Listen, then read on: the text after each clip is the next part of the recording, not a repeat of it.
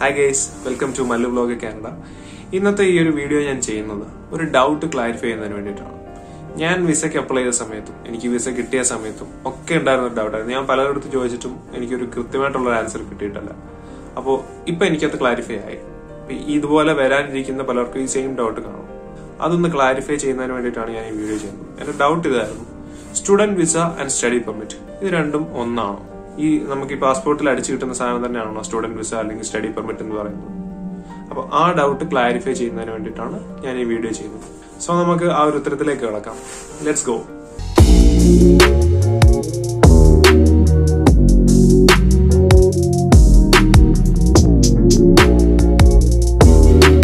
അപ്പൊ ചോദ്യം ഇതായിരുന്നു student visa and study permit is the same exactly പറഞ്ഞാൽ അല്ല. ഇത് രണ്ടും രണ്ട് ഡോക്യുമെന്റ് ആണ്. ബട്ട് ബോത്ത് ആർ റിലേറ്റഡ് ഇത് രണ്ടും ഇല്ലാതെ നിങ്ങൾക്ക് ഇവിടെ എൻട്രി ചെയ്യാനോ ഇവിടെ സ്റ്റേ ചെയ്യാനോ ഇവിടെ പഠിക്കാനോ പറ്റില്ല. രണ്ടിനും രണ്ട് പർപ്പസ് ആണ്.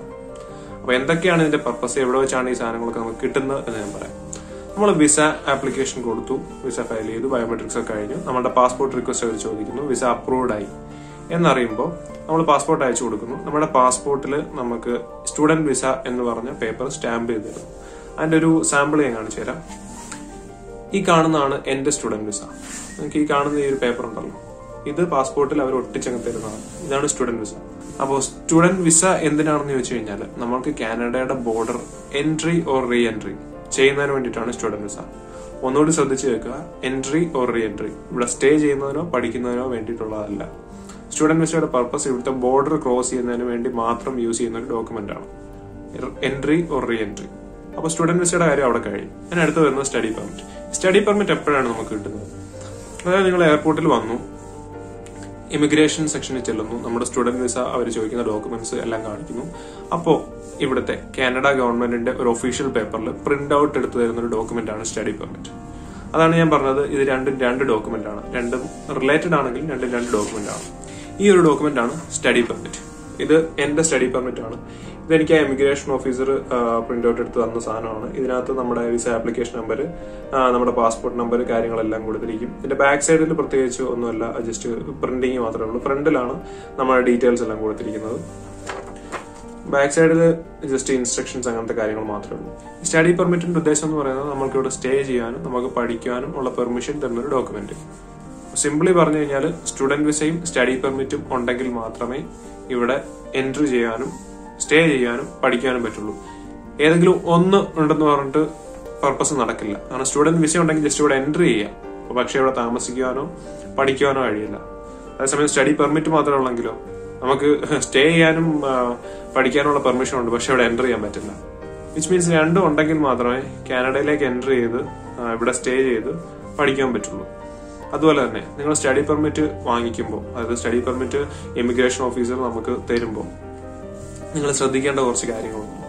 അതായത് അവർ പറയും തന്നിട്ട് ഡീറ്റെയിൽസ് ഒക്കെ ചെക്ക് ചെയ്യുക നിങ്ങളുടെ പേര് നിങ്ങളുടെ അഡ്രസ്സ് നിങ്ങളുടെ പാസ്പോർട്ട് നമ്പർ അതുപോലെ തന്നെ സ്റ്റഡി പെർമിറ്റിന്റെ വാലിഡിറ്റി സ്റ്റഡി പെർമിറ്റിന്റെ വാലിഡിറ്റി ചെക്ക് ചെയ്യേണ്ടത് നിങ്ങളുടെ സ്റ്റുഡന്റ് വിസ അതായത് നിങ്ങളുടെ പാസ്പോർട്ടിൽ അടിച്ചിരിക്കുന്ന സ്റ്റുഡന്റ് വിസയിൽ എത്രയാണോ അതിന്റെ എക്സ്പയറി ഡേറ്റ് അടിച്ചിരിക്കുന്നത് ആ ഒരു ഡേറ്റ് വരെ ആയിരിക്കും സ്റ്റഡി പെർമിറ്റും നിങ്ങൾക്ക് ഇഷ്യൂ ചെയ്തിരിക്കുന്നത്. അതിൽ കുറവാണ് അടിച്ചിരിക്കുന്നുണ്ടെങ്കിൽ നിങ്ങൾ അവിടെ വെച്ച് തന്നെ ചോദിക്കുക. അവർ പറയാൻ അതിന്റെ പുറത്തൊരു ഒരു ടോൾ ഫ്രീ നമ്പർ ഉണ്ട് അവിടെ വിളിച്ചിട്ട് നമുക്കിത് ചേഞ്ച് ചെയ്തെടുക്കാൻ പറ്റും. പിന്നീട് നിങ്ങൾ ഇറങ്ങിയതിന് ശേഷം. അപ്പോൾ അത് അപ്പം തന്നെ പോയിന്റ് ഔട്ട് ചെയ്യുക. അടിച്ചിരിക്കുന്ന ഒരു സമയം കുറവാണ്. അവർ ചെക്ക് ചെയ്യാൻ പറയുന്ന സമയത്ത് തന്നെ അത് ചെക്ക് ചെയ്യുക. ജസ്റ്റ് ചെക്ക് ചെയ്യാൻ പറയുമ്പോൾ അവർ ചുമ്മാ നോക്കിയിട്ട് ഇനി ഇറങ്ങി. വെളിയിൽ ഇറങ്ങി കഴിഞ്ഞാലുള്ള പ്രശ്നം നമ്മൾ എമിഗ്രേഷൻ ചെയ്യുന്ന ആ ഒരു ഒരു ഓഫീസ് ആ ഒരു റൂം ഉണ്ടല്ലോ. അതിന്റെ ഡോർ എന്ന് പറഞ്ഞാൽ എക്സിറ്റ് ആണ്. നമ്മൾ ഈ എക്സിറ്റ് ഇറങ്ങി തിരിച്ച് നമുക്ക് കയറാൻ പറ്റില്ല. ആ ഡോറിന്റെ സെൻസർ അങ്ങനെയാണ്. ഈ അകത്ത് നിൽക്കുമ്പം പുറത്തോട്ട് തുറന്നു വരുന്നത്. നമ്മൾ തിരിച്ച് അങ്ങോട്ട് നിന്ന് കഴിഞ്ഞാൽ തുറന്നു വരത്തില്ല. അപ്പൊ പിന്നെ തിരിച്ച് എന്റർ ചെയ്യാനുള്ള ഒരു ഓപ്ഷൻ ഇല്ല. അപ്പൊ നിങ്ങളടുത്ത് പറയുന്ന സമയത്ത് അതായത് ചെക്ക് ചെയ്യാൻ പറയുന്ന ഒരു സമയത്ത് തന്നെ ഡീറ്റെയിൽസ് കാര്യങ്ങളെല്ലാം ചെക്ക് ചെയ്യുക. പിന്നെ എസ്പെഷ്യലി നോക്കേണ്ട ഒരു കാര്യം നിങ്ങൾ ഈ പഠിക്കുന്ന സമയത്ത് എന്തായാലും ഒരു പാർട്ട് ടൈം ജോബ് വേണമല്ലോ. അപ്പോൾ ഈ സ്റ്റഡി പെർമിറ്റിന്റെ ഏറ്റവും താഴെ ഒരു സ്റ്റേറ്റ്മെന്റ് കൊടുത്തിരിക്കും. അതായത് ഈ പെർമിറ്റിന്റെ ഏറ്റവും താഴെ ഒരു സ്റ്റേറ്റ്മെന്റ് കൊടുത്തിരിക്കും.